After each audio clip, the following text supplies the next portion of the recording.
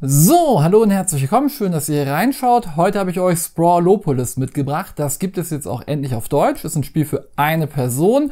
Hier ist auch eine Variante drin, wo man es mit zwei bis vier Spielern spielen kann. Ne? Baue deine Metropole, ein Solospiel ab acht Jahren. Und das Spiel ist dann auch ja, relativ zügig erklärt und gespielt. Es hat halt hier auch 18 Karten drin, die immer so Stadtviertel zeigen. Und die Karten nehmen wir jetzt einfach und mischen die einmal gut durch. Und ne, also es ist auch fast egal, wie rum man die erstmal mischt, weil ne, ihr seht das schon, die sind halt doppelseitig bedruckt. Und dann nimmt man irgendwie drei Karten raus, von denen man dann die Rückseite braucht. Das sind jetzt quasi die Herausforderungen, ne, die Herausforderungen Vororte, Pendlerverkehr und die Außenbezirke, die legt man dann erstmal hier so zur Seite. Gucken wir uns gleich mal näher an. Erstmal die grundlegende Spielmechanik. Wir nehmen jetzt von den anderen Karten einfach zufällig irgendeine raus und legen die halt immer so, dass eine lange Seite zu uns zeigt. Wie rum können wir uns aussuchen, wobei das jetzt am Anfang auch wirklich noch egal ist. Und das ist jetzt der Beginn der Metropole und drumherum bauen wir jetzt quasi unsere tolle Sprawlopolis, also so ein Stadtbauspiel. Von dem restlichen Stapel nehme ich einfach drei Karten und jetzt geht im Prinzip das Spiel auch schon los und die Regel ist einfach, spiele eine Karte aus. Ne? Ich kann die halt irgendwie angrenzend spielen.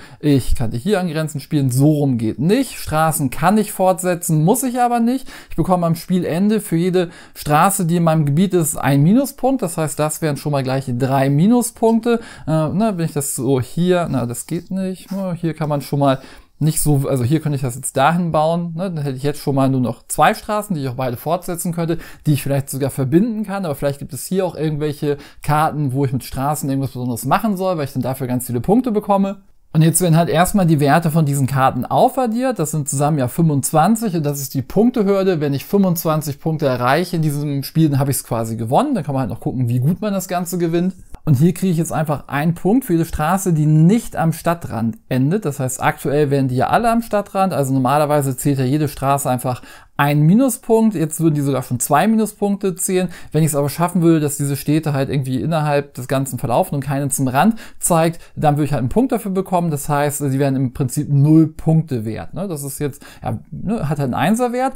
Hier 16. Jede Straße bringt zwei äh, Punkte, wenn sie durch mindestens ein Gewerbe äh, und eine Wohnzone führt. Und die Vororte kriege ich einen Punkt für die Parkzone, die an mein größtes Wohngebiet angrenzt und minus zwei Punkte für die Industriezone, die an dein größtes Wohngebiet Gebiet angrenzt. Und jetzt haben wir schon mal halt die Situation, dass wir relativ einfache Regeln haben, aber das wollen wir halt irgendwie alles so gut wie möglich erfüllen, dass wir da halt wenig Minuspunkte bekommen, wenn es geht und wir irgendwo Pluspunkte bekommen, wir ganz viele Pluspunkte eben kriegen und am Ende des Spiels wird auch geguckt, ne? wenn ich jetzt irgendwie das so hinlegen würde, wäre das halt irgendwie eine Parkzone und wenn ich das hier auch noch hinlegen würde, wäre das hier auch jetzt halt ein Park, den könnte ich dann später noch größer machen, dann würde ich halt gucken, ne? mein größter Park, so viele Gebiete, wie da drin sind, würde ich jeweils einen Punkt für bekommen, das heißt, hier wären es jetzt vier, hier wären zwei, hier wären zwei und hier für die Wohngebiete wäre es aktuell nur ein Punkt. Aber das haben wir jetzt einfach nur mal so ne, hingelegt. Das heißt, ähm, ich muss mir jetzt erstmal überhaupt Gedanken machen, was, ne, das ist jetzt meinetwegen die Startkarte, äh, welche von diesen Karten spiele ich jetzt aus, damit ich halt diese Punktebedingungen hier erfülle. Dann muss er schon alles drei auch wirklich berücksichtigen. Ich möchte jetzt halt ein möglichst großes Wohngebiet bauen und möchte da dann auch äh, Parkzonen angrenzen haben und möchte halt verhindern, dass da irgendwie Industrie angrenzt. Ne? Schon mal knifflig. Und dann will ich aber auch noch Straßen, die durch Gewerbe- und Wohnzonen führen. Ne, das hätte ich ja quasi, wenn ich jetzt das hier hinlegen würde, hätte ich ja hier eine Straße, die durch eine Gewerbe- und eine Wohnzone führt. Also würde ich dafür schon mal zwei Punkte bekommen. Wenn ich da jetzt noch, ne, da ist ja auch noch ein Gewerbegebiet, das würde nicht mehr Punkte bringen. Das heißt, hier würde es eher Sinn, viele Straßen zu haben, aber ich möchte eben auch nicht so viele Straßen haben, die am Rand enden. Also könnte ich die vielleicht auch irgendwie so rum hinspielen und ja, hm, ich will natürlich auch irgendwie einen großen, ich will vor allem ein großes Wohngebiet bauen. Das heißt, das könnte ich natürlich, ja, schwierig hier zu erreichen. Ähm, ja, jetzt würde ich hier schon mal die Punkte bekommen, aber das ist nicht so wirklich gut. Ich könnte jetzt natürlich auch schon mal überlegen, welche Karten habe ich noch auf der Hand, welche Karte kommt gleich, welche Karte ziehe ich also nach und muss das halt alles in meine Überlegungen äh, mit einfließen lassen. Ihr seht schon gesagt, die Grundregel mega einfach, aber dass ich das wirklich so baue, äh, dass wir da richtig viele Punkte und das Maximum Punkte rausholen, da kann man schon wirklich äh, viel und hart grübeln. Und vielleicht will ich ja auch irgendwie erstmal hier so einen Kreis bauen. Ne, das wäre vielleicht auch gar nicht so schlecht, aber ich möchte ja schon auch einfach erstmal äh, ein großes Wohngebiet äh, bekommen. Das ja, mit den Karten hier wäre das tatsächlich so möglich, dass ich da schon mal ein Wohngebiet baue. Da habe ich jetzt auch gleich diese Bedingung hier schon erfüllt. Ich würde das einfach mal so lassen, dann eine Karte nachziehen und könnte jetzt halt auch wieder überlegen, okay, wie nutze ich jetzt diese Karten, dass ich da eben ja das äh, Wohngebiet vielleicht vergrößere.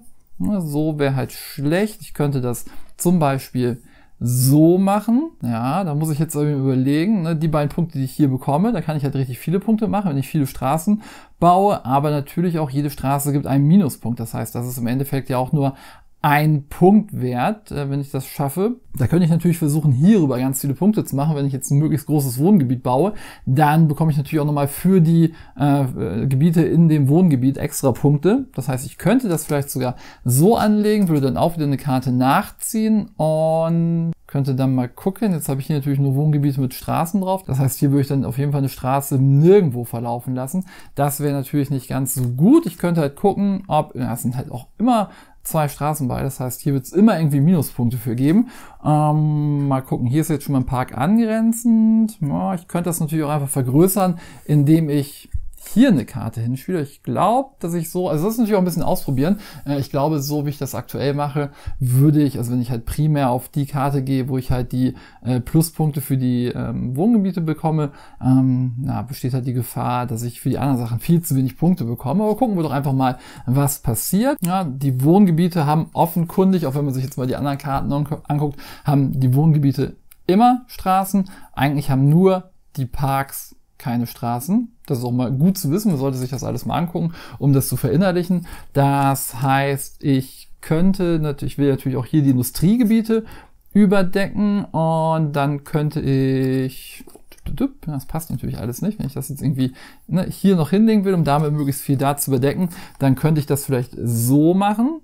Das wäre doch schon mal ganz gut. Jetzt sehe ich hier schon mal ne, ein 2, 4, 5er Wohngebiet. Dafür würde ich halt am Ende noch 5 Punkte ähm, bekommen, einfach für die Gebiete an sich. Dann nochmal ein Punkt für jede Parkzone, die angrenzt, wären aktuell halt auch nur zwei, aber hier auch noch zwei Minuspunkte für. Das will ich also eigentlich auch überdecken tatsächlich. Würde also auch da wieder eine Karte nachziehen. Und bei der Straße habe ich natürlich eine große Chance, dass ich dafür einfach einen Pluspunkt bekomme. Also wenn ich so eine Straße nirgendwo verlaufen lasse, dann zählt die einfach null Punkte. Das ist doch gar nicht so verkehrt tatsächlich. Für die würde ich jetzt einfach hier zwei Punkte bekommen. Für die auch, ne, weil ich die Bedingung von der Karte hier erfülle. Das heißt, hm, die kann sogar ganz gut sein. Sie würde dann in Kombination, ne, eine Straße, die ich hier im Nichts, wenn ich hier noch irgendwas hinbaue, wo die Straße nicht weitergeht, äh, dann würde ich dafür einen Punkt bekommen. Und wenn ich auch noch die Bedingung hier erfülle, würde ich sogar drei Punkte dafür bekommen, statt einem Minuspunkt. Also im Endeffekt sogar plus vier Punkte zu dem, was ich normal für so eine Straße bekommen würde. Also vielleicht gar nicht so eine schlechte Idee.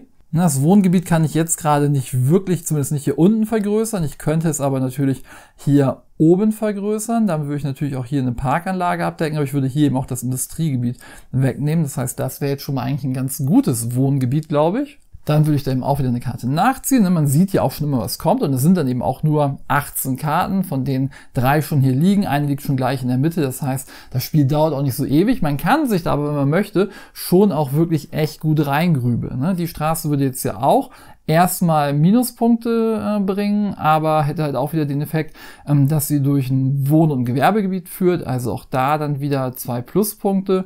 Und wenn ich da jetzt, oh, mal gucken, ob ich die irgendwie enden lassen kann, schauen wir mal. Aktuell hätte ich hier jetzt noch ein Industriegebiet, das da angrenzt. Das möchte ich natürlich nicht. Das heißt, ich könnte hier zum Beispiel die Karte noch ranspielen. Jetzt hätte ich auch einfach hier die Straße quasi überdeckt, würde die auch vielleicht Nirgendwo verlaufen lassen. Und das ist doch auch vielleicht schon mal gar nicht so schlecht. Dann kommt noch die Karte dazu.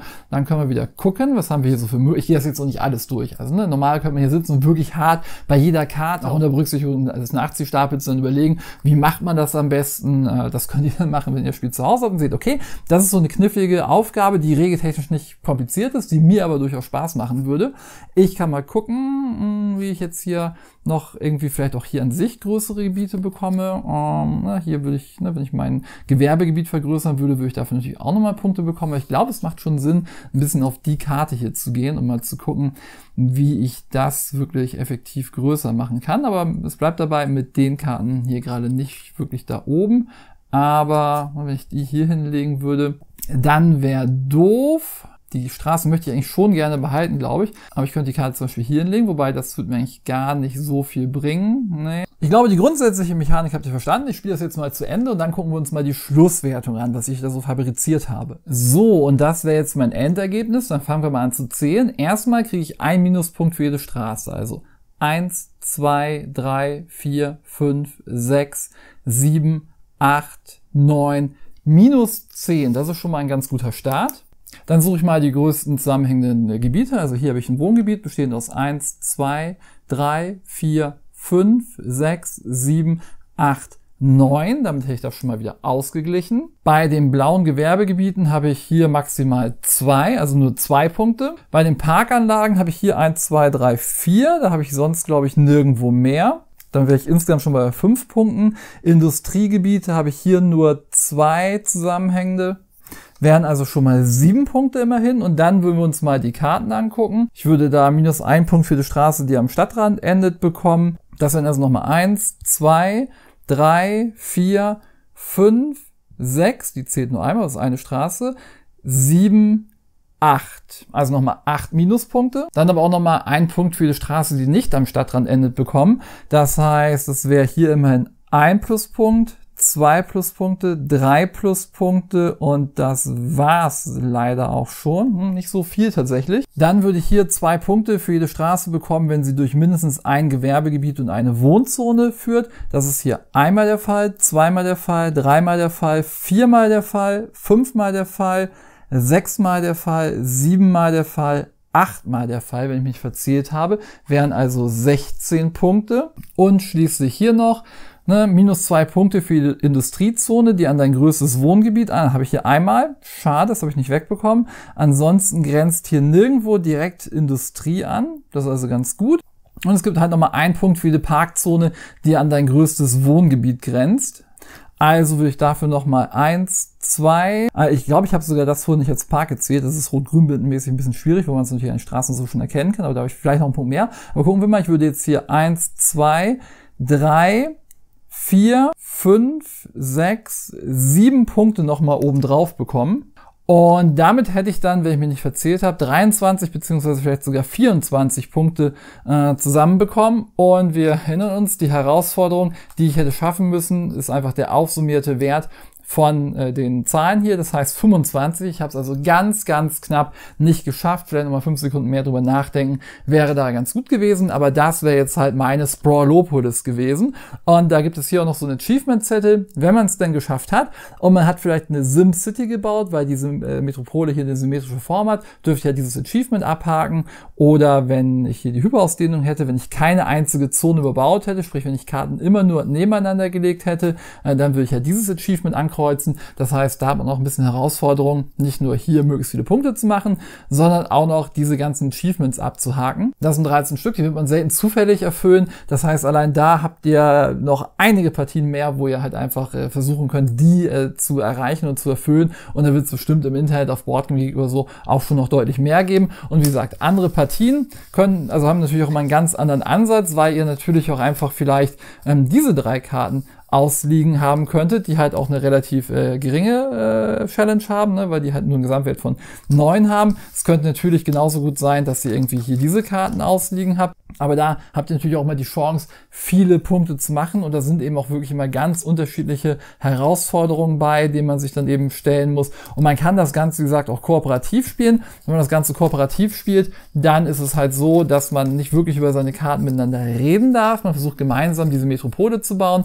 Das heißt, ich hätte jetzt diese drei äh, Karten auf der Hand und die anderen Spieler halt, wenn man es mehr Leuten spielen würde, alle eine Karte und ich würde jetzt halt hier ne, irgendwie mir was überlegen, irgendwas dahin spielen und würde dann halt quasi diese Karten weitergeben an den Spieler, der dann auch wieder drei Karten hätte. Ich würde einfach eine Karte nachziehen und so geht das dann reihum, bis alle äh, Karten verbraucht sind. Natürlich kann man auch da natürlich dann diskutieren, was man wie bauen will, welche Möglichkeiten man hat, gemeinsam die Optionen durchgehen. Da sieht man natürlich immer noch ein bisschen mehr. Das kann durchaus Spaß machen, aber es kann natürlich auch zu einer absoluten Paralyse führen, weil man dann wirklich auch zu zweit alle erdenklichen Möglichkeiten durchgeht geht, anstatt alleine einfach zu sagen, ich mach das mal. Es werden noch gleich Erweiterungen mitgeliefert. Man hat noch den grausamen Godzilla, man hat die sensationellen Sehenswürdigkeiten und man hat die blöden Baustellen. Da hat man dann hier hinten so Karten mit so einer Baustellen-Herausforderung und die Karte hier ist zum Beispiel gleich doppelseitig und ne, hier immer nochmal Godzilla, der nochmal seine eigenen Wertungsregeln hat. Die habe ich noch nicht ausprobiert, aber es ist halt auch schön, dass die gleich dabei sind. Und ja, da haben wir halt ein Spiel,